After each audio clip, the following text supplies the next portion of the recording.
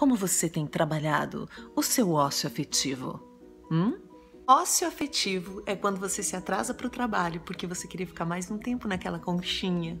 Tá muito difícil de levantar, especialmente quando começa a ficar frio.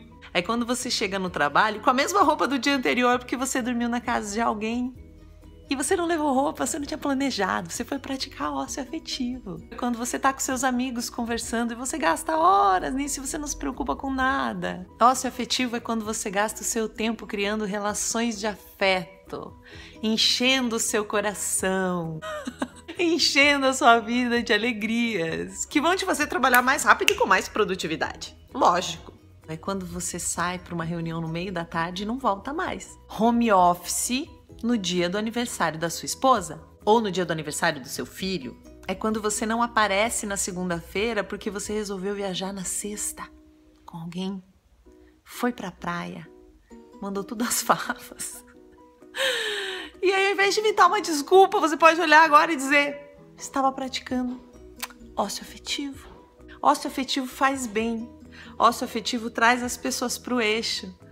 Ócio afetivo é tudo nessa vida, gente. É quando você tinha um monte de coisa para fazer e a pessoa fala: Você tem algum compromisso? Você tá com pressa? Não! Imagina! Você tá com fome? Hum, hum.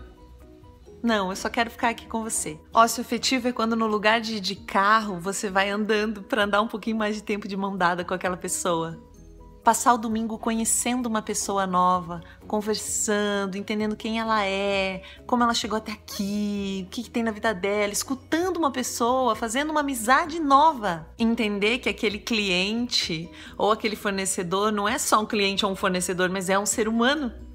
E que ele também tem falhas e que ele também tem vulnerabilidades, e dividir esses lugares e se conectar de verdade com essas pessoas. É quando o happy hour dura muito tempo, Sabe? Você sai da firma, tá todo mundo cansado, aí sai todo mundo pro happy hour e ninguém quer ir embora. A gente tá junto num tempo considerado ocioso, produzindo muito afeto. Então é isso que eu quero sugerir para todo mundo. Ócio afetivo. Pratique você também.